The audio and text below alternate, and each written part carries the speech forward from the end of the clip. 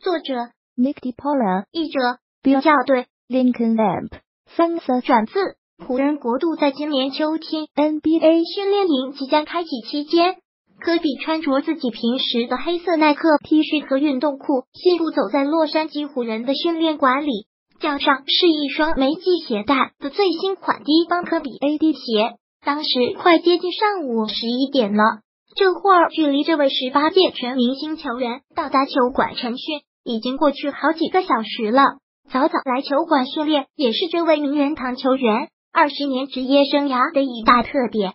当科比看着这个地方时，他瞥见了球队放在全场上的投篮机，然后转身离开入口走廊，走进球队的三十座的豪华电影媒体室。大家都知道，科比开玩笑说过，每个人都看过他的谢幕演出。他明确表示不会宣布复出。自从两年前离开联盟后，这个老湖人一直致力于自己刚起步的生意，并投资创办了不少企业。他还是一家市值超过一亿美金、主营新闻报道了的合资企业的股东。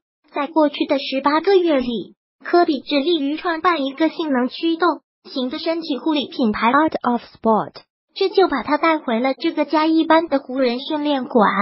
科比帮助现在的合作伙伴主持公司的上市典礼，出席的有 CEO 马蒂亚斯梅特涅和企业家布莱恩里。这个新品牌主要提供除臭剂、沐浴露和防晒霜，用科比独到的洞察力去帮他们找到能赚大钱的植物配方。在筛选潜在合作伙伴的过程中，科比随着时间的推移发明了一种三段式的方法。来帮助他决定投资哪些项目或产品。首先，证明概念的正确性，再采纳它，最后执行。通过这个过程，Art of Sport 会立刻吸引人们的注意力。你需要做的第一件事就是勇往直前。慢着，没人做这个。科比笑谈。然后就是我能给这个产品做贡献吗？我随后拿下的会是这个产品吗？我能理解并优化它的形式或风格吗？在科比和马蒂亚斯的第一次交流中，细心的科比就发现，在这个市值一百四十亿的身体护理产业里，绝大多数传统品牌产品都依赖老旧的配方，比如除臭剂和肥皂，一直以来只是用运动标签去升级包装来吸引运动员购买。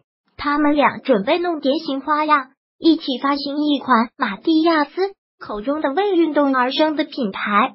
当你创建新品牌时，确保引用的故事、权力带感情色彩以及持有的态度，都得和与产品联系起来并产生共鸣。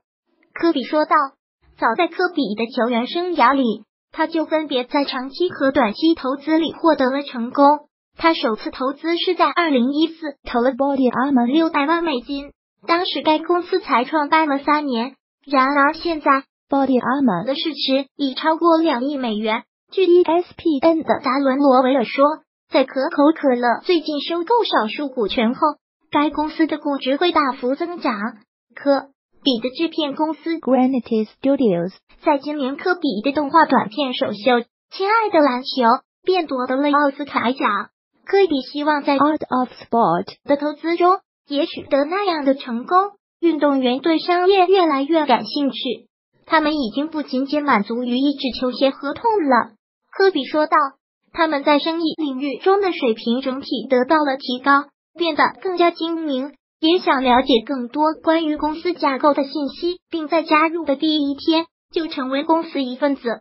这对于传统体育来讲是一个大转变。然而，科比只是这个模式的创始人之一。NBA 上赛季 MVP 詹姆斯哈登。MLB 全明星球员哈维尔贝兹，NFL 明星球员朱朱史密斯以及一系列的运动员都是 AOS 的品牌合作伙伴。他们的团队照片都晒在了各自的社交媒体主页上。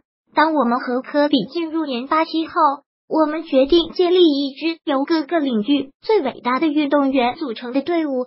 梅特涅说道。这支多样化的球队能为我们公司的可持续发展提供多种可能。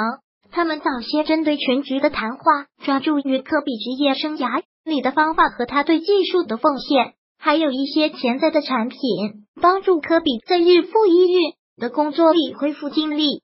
当你特涅和科比走得更近，并在商量优化产品类型和系列产品时，科比依靠自己获得最有力的支持来源。那和科比系列中学到的东西，他希望将故事和塑造的元素融入其中，这是他签名鞋多年来备受瞩目的重要原因。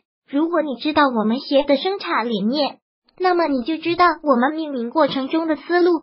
比如，如何把曼巴精神和故事联系起来，让顾客不仅仅从我们的产品上获得身体享受，还从我们产品的名字得到激励与鼓舞。他说：“不要只依赖于传统产业的角度，什么新潮呀、酷呀。”科比个人列出了三条发展新品牌的要素：提升、挑战和竞争。